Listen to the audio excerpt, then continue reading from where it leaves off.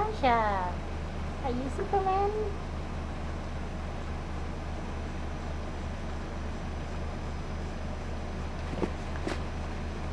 He's sleeping.